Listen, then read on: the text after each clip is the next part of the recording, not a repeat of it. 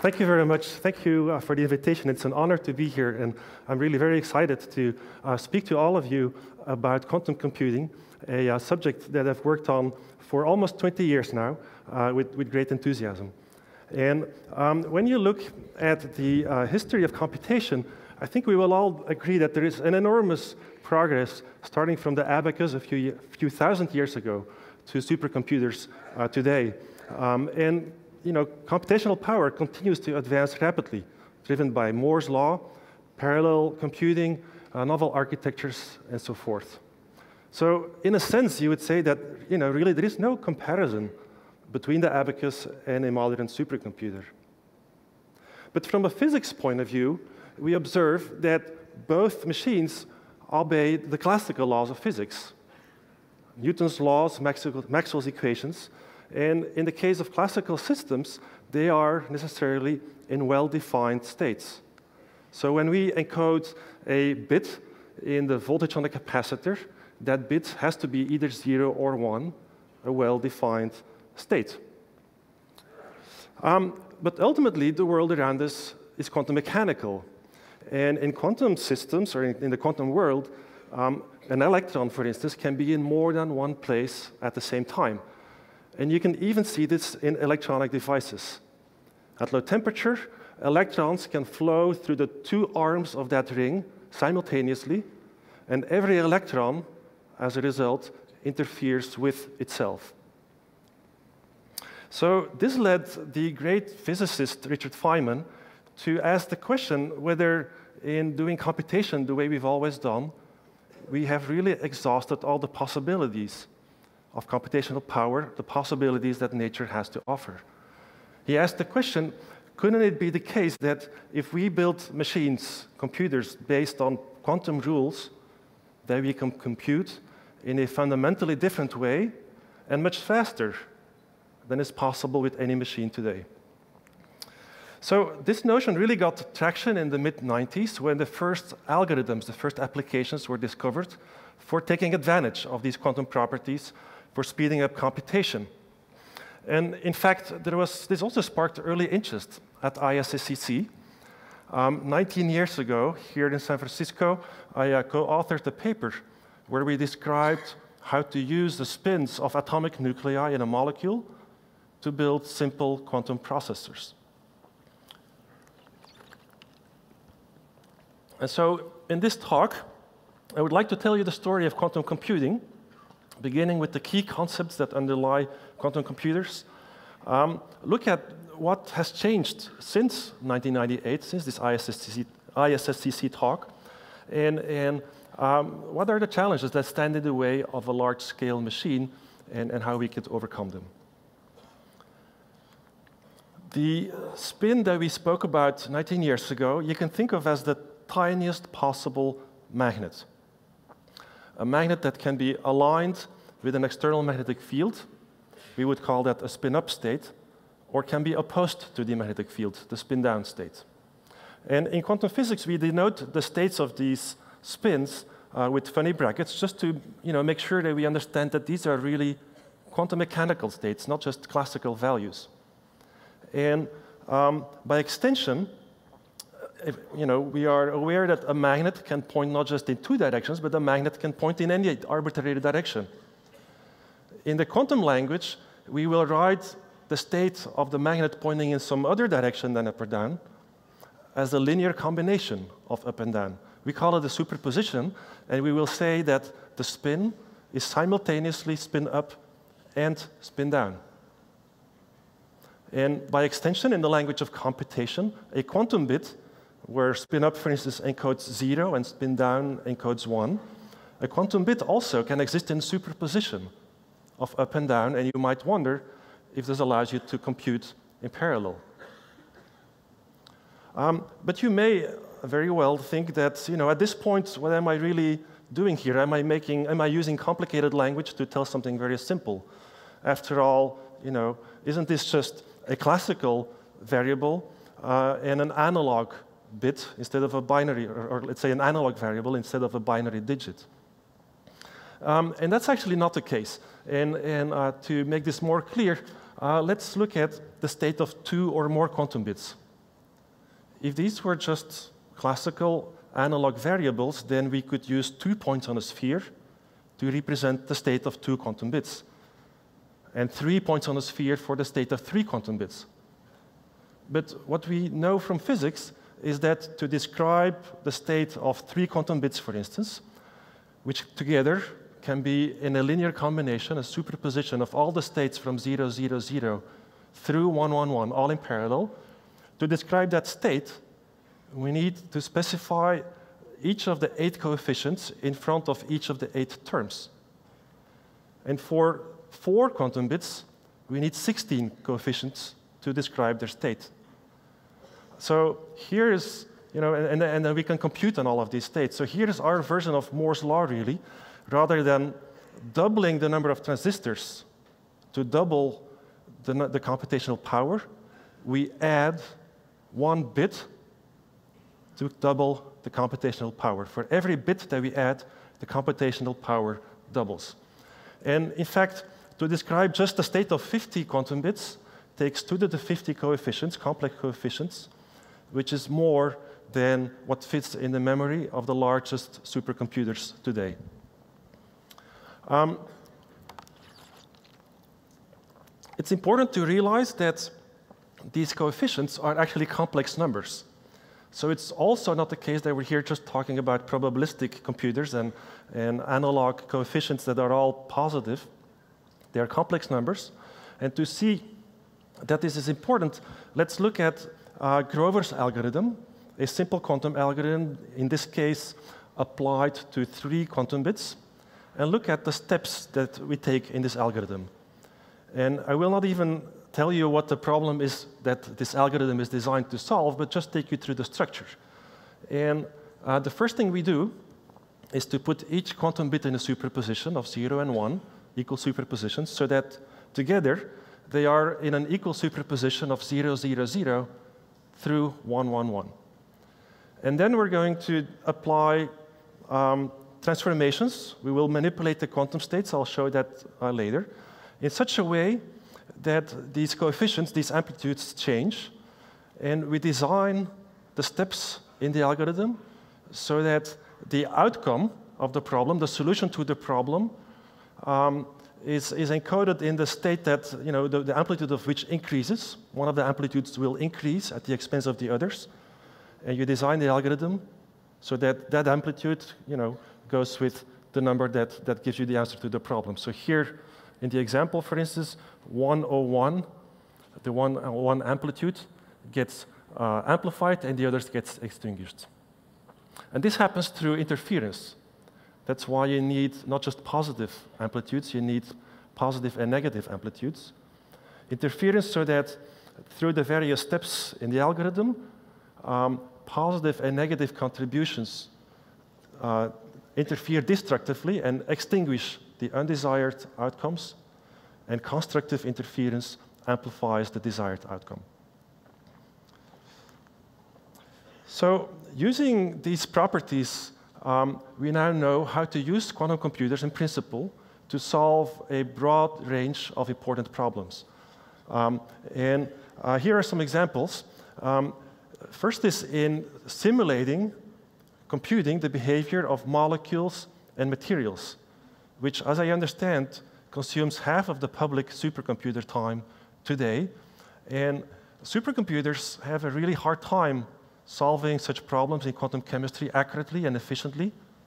They can only give approximate solutions, and it takes really hard work.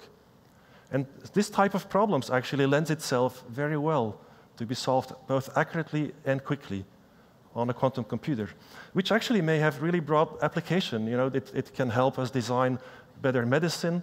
Uh, it can help us make chemical plants more efficient by understanding how chemical reactions work. Uh, maybe we can design superconductors that superconduct at room temperature, uh, and so forth. Um, another class of applications is in cryptography. There is a well-known application or algorithm for factoring large numbers efficiently, and if you can do that, you can break widely used public key systems, the RSA system. And um, many other important applications are under study, uh, from machine learning to optimization problems. And, and if you want to know more, there is a whole zoo of quantum algorithms described um, at, at this website here. Um, so this potential led the Nobel Committee, uh, Nobel Prize Committee, a few years ago to make a pretty strong statement. Two of our colleagues in the field received the Nobel Prize in Physics. And the statement by the Nobel Prize Committee is that the quantum computer may change our everyday lives in this century in the same radical way as the classical computer did in the last century. And of course, we all are aware of the enormous impact this has had. So, what does it take to build such a quantum computer? You need to identify a physical system, quantum system, where you will use two levels to describe the zero and the one. Um, it needs to be a system that you can scale up, so many of the quantum bits can be put together. Um, you need to initialize, be able to initialize the, the initial state, reset the state, which is not trivial in the quantum case. Um, you need to compute, and just like the NAND gate is universal for conventional electronics, there is a universal set of gates in the quantum case. It consists of, on the one hand, rotations or, or, operations acting on one quantum bit at a time, and we can visualize them as rotations of the quantum state in the sphere that I've used before, in combination with controlled interactions between neighboring quantum bits, where what happens to one quantum bit depends on the state of the other so that you can do conditional logic. And of course, you need access to the final state to read out the result. So this much was clear already in 1998, and let me go through some of the major advances that have happened since then. First, as a community, we have learned to build quantum bits on a chip. When you think of quantum physics, maybe first you think of atoms or ions in vacuum or photons. And we have learned to build what we call artificial atoms, structures fabricated on a semiconductor chip that show quantum mechanical behavior much like real atoms. Um, and they go from superconducting circuits containing Josephson junctions to hybrids of superconductors and semiconductors hosting so-called Majorana particles to um, electron spins or nuclear spins attached to impurities in semiconductors or in diamond to electron spins confined in quantum dots.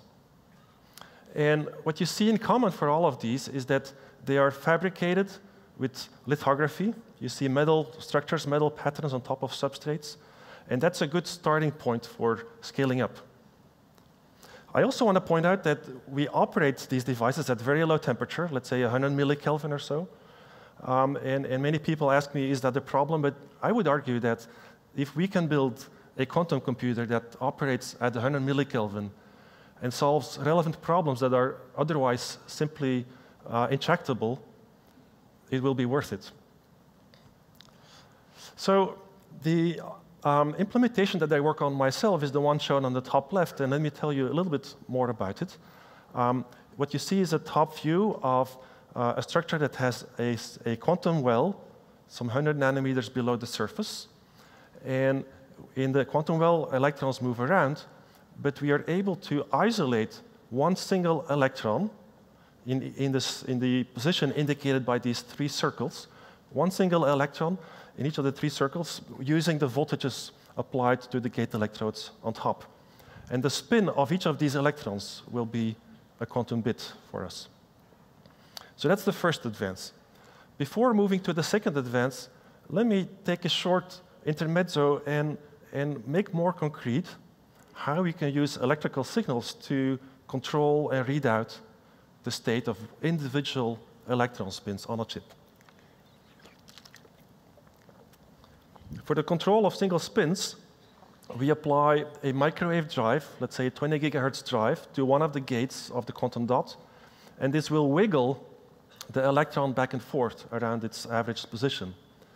And due to the substrate properties, spin-orbit coupling, this translates to an effective magnetic field acting on the spin, which, when it's resonant with the spin uh, precession frequency, can manipulate the spin. And, can, and so when you apply this microwave drive, for a carefully timed duration, you will rotate the spin from the spin up state to down which corresponds to a bit flip in the language of computation.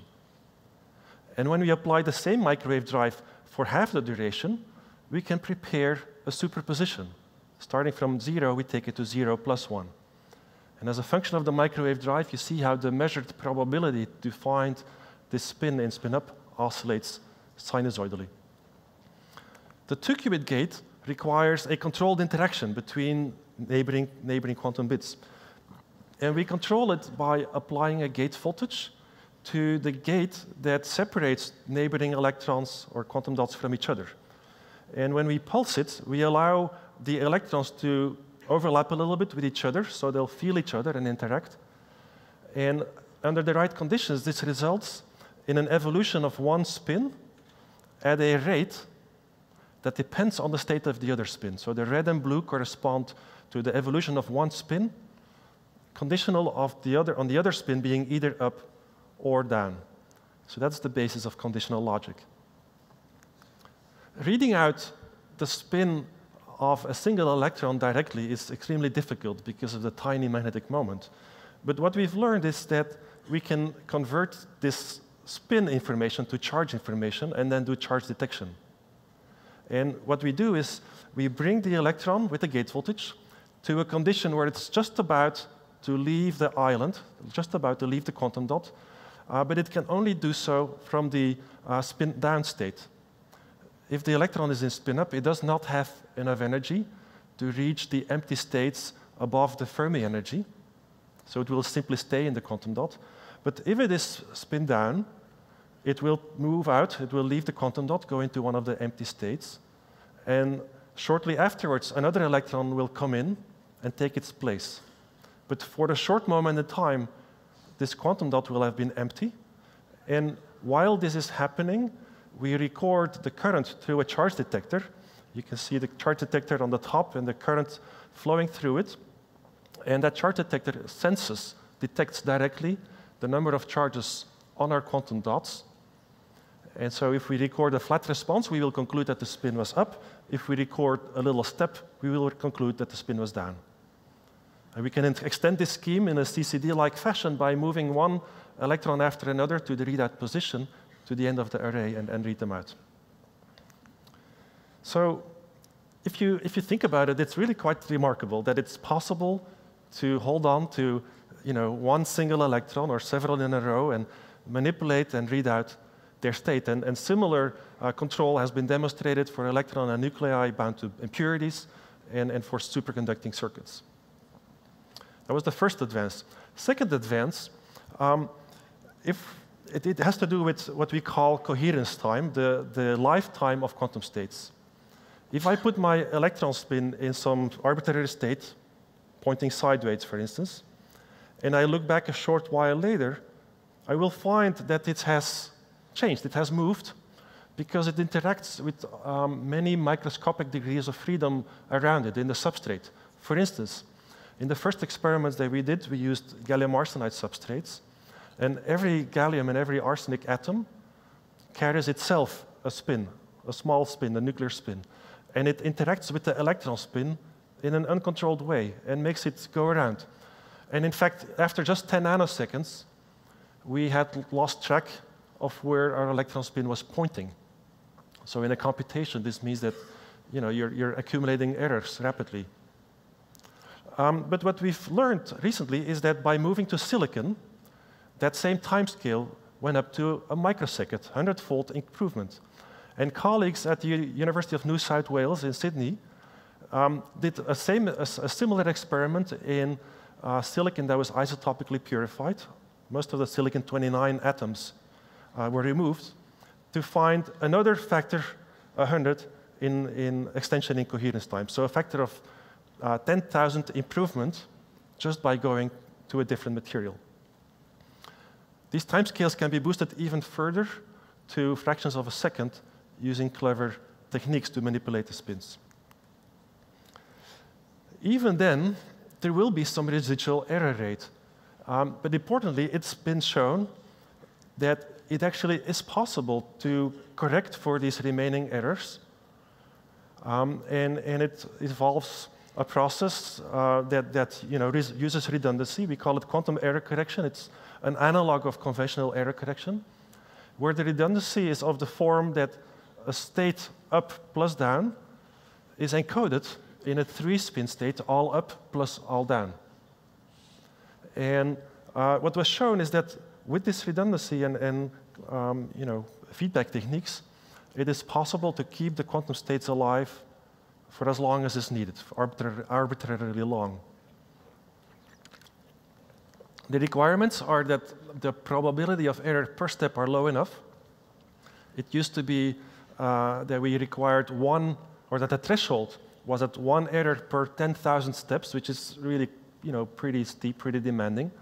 Uh, but in the last years, this has come down to one in a 100, an error rate that you know, in many cases we achieve already.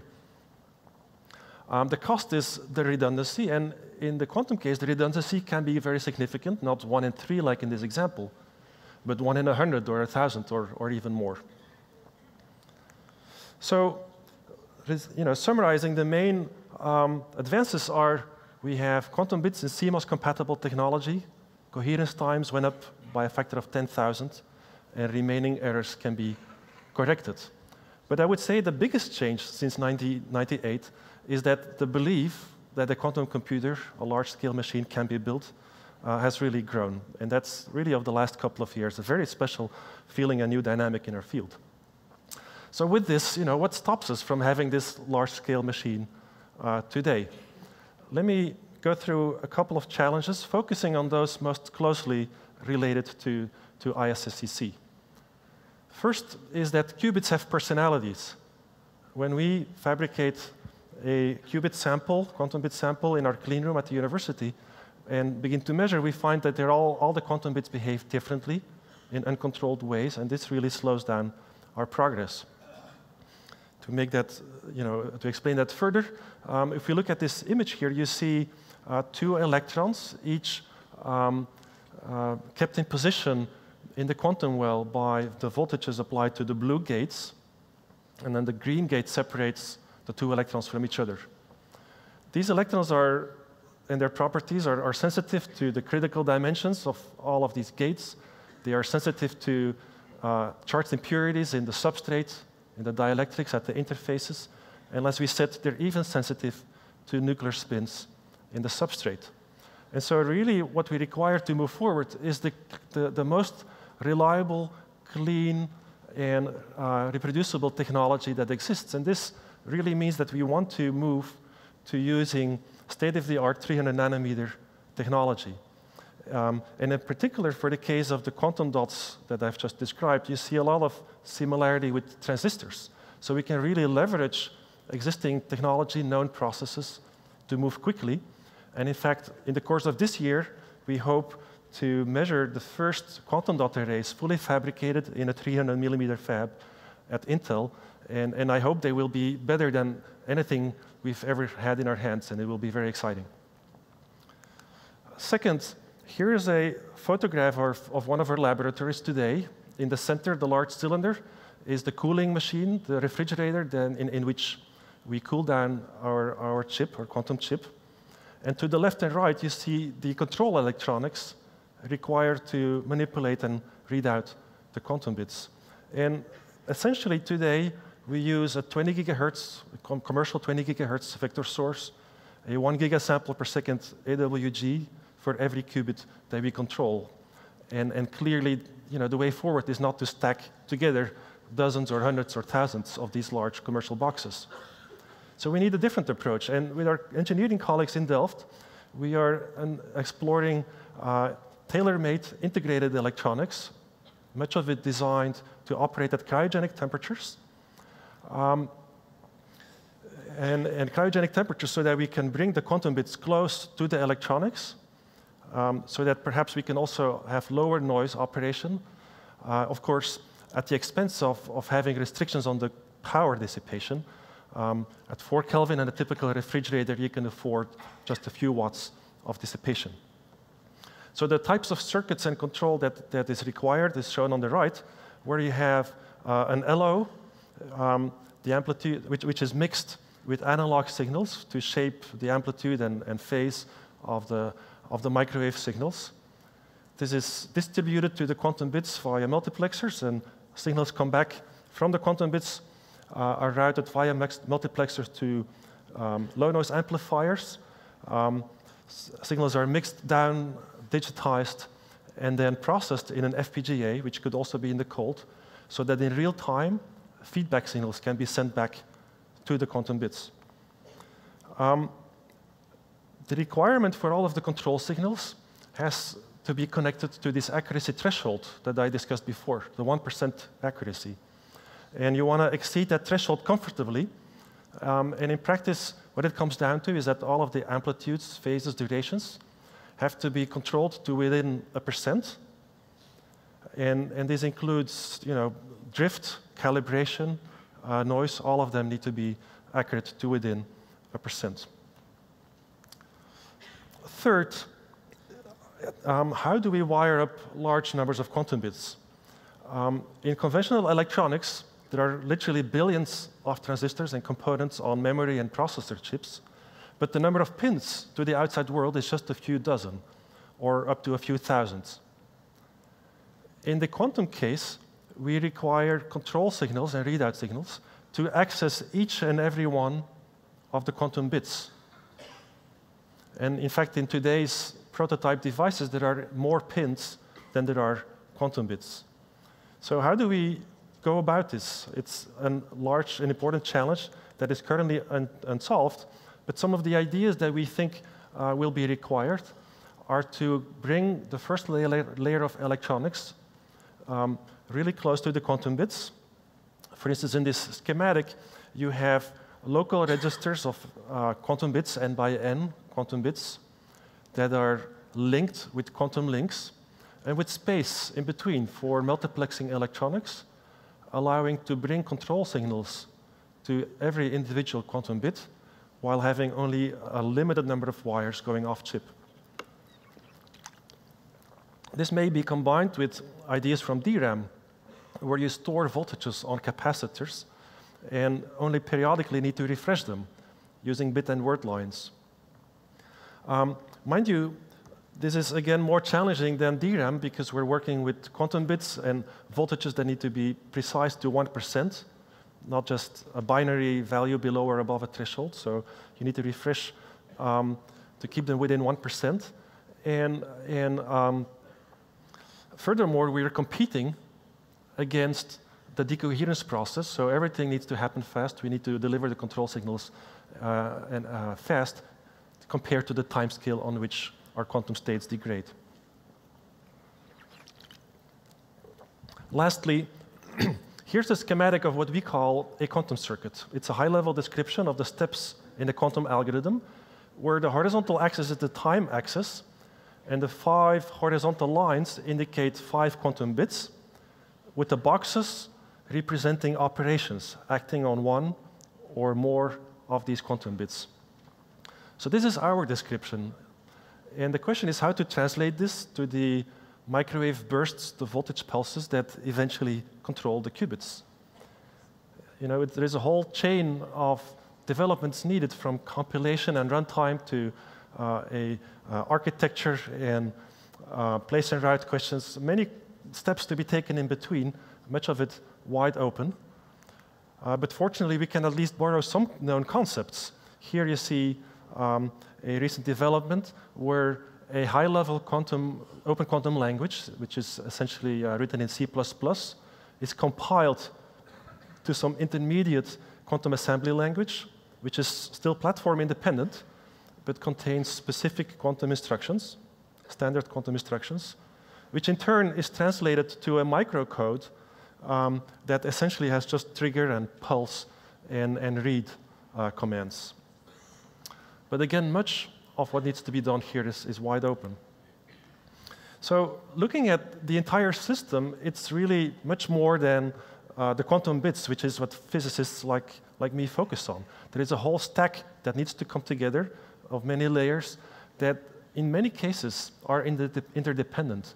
So you really need a systems approach to, to tackle this problem. And you need to bring together many disciplines uh, with a big role for circuit design, architecture design, system design. And, and so here's a recent uh, photograph of our Delft uh, Intel team where uh, in the front rows you will, or you may recognize some familiar faces uh, to ISSCC. Um, and one of the important challenges initially has been to learn to speak each other's language. Where it's really a multidisciplinary team, and we've, we've invested a lot in this. So where is this field going? When will we have the quantum computer? Um, I do encourage you to come to the panel session tonight where we will discuss this question further, I'm sure. But let me present to you how I look at this question. On the horizontal axis is time, vertical axis on a log scale, the number of quantum bits. And we anticipate, you know, we're, we're now at a handful of quantum bits, up to nine quantum bits in superconducting circuits. And, and we are anticipating that we will move at least on a log scale. You know, we're not, we're not going from 9 to 10 to 11. We'll go to 50 and then uh, to uh, several hundred and thousands uh, over, the, over the next years. But the question then is how many quantum bits do you need? And one side to that answer I've already given. If you have just 50 quantum bits, their complexity is beyond what any supercomputer can still harness. Um, but that's not the same as making those 50 quantum bits do something useful and solve a relevant problem. And to do that, current estimates are in the millions, depending on the error correction overhead that's involved. Um, this line of millions, that is constantly coming down. Um, and what I anticipate is that in order to bring these two lines together on a timescale of five to 10 years, and so that we can really solve relevant problems, we will need your ideas, your contributions, your engagement. And so um, this brings me back to my title slide, uh, which is that quantum computing, I think, really is the next new challenge in, in circuit and system design. And I hope that at least some of you um, are inspired to help us to push the boundary of computation to the limit of what nature permits. Thank you.